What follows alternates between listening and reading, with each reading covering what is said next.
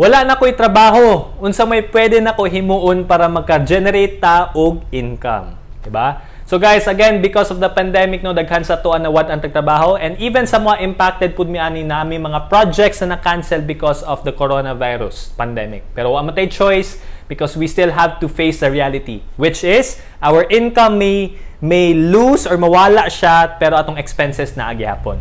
That is why sa kinina video I would like to share two things that we can do at the same time na po mga special announcement no uh, that I would like to share with you guys, okay, for this community. Number one is you can always convert your skills into money, right?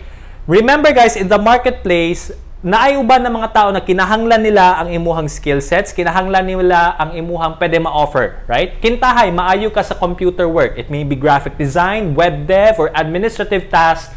Someone out there may need your service. So you can always exchange that service for money, right? That's one. And number two, pwede po ta ka na magkaroon o let's say maayo ka sa pagluto. Pwede po ka magluto and then you're going to have it delivered to the doorsteps of your customers. Tapos maingon po ka na, John, wala mo ko'y courier services, nindot mo ta na idea, kabalo ko mamluto. Okay.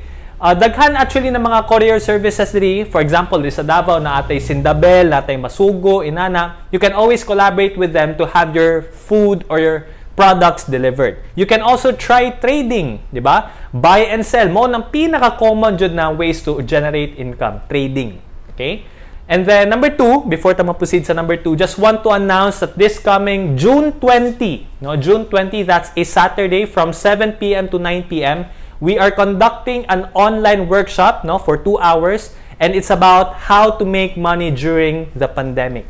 So if you want to know more about it, ang details kay ang link na sa description para makita ninyo ang details niya, right? So I would like to encourage you to join that um, specific webinar because going to help you out especially kung nawad-an ka og source of income.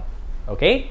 Tapos guys, uh, to continue, number two is you can always sell the things that you don't need anymore or wala na nimo ginagamit, diba? Funny story, no? Uh, bago lang may nagkastorya sa isa ka financial planner and then uh, not not going to reveal his name na lang.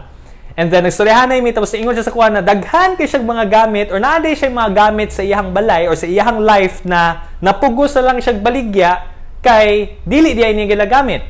Di ba? Wala di siya inana kadako na purpose ba katong need bitaw. And so, you can always do that as well. You can always check your house. And trust me guys, there are a lot of things in your house or in your kwarto. Di ba? Sa kwarto ni mo na makaingon kag dili naman ako ni ginagamit, dili naman ako ni kinahanglan, may pa ako na lang ni siyang puslan, imo siyang i-convert into money by selling it to other people. Di ba?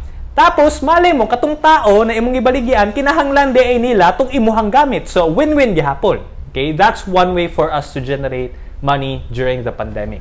Okay? So, um, question of the day. Sa imuhang pananaw, sa, sa ato ang sitwasyon karon, unsay pwede na to buhaton para magkaroon ta og income despite the pandemic? Ibutang imong answer sa comment section.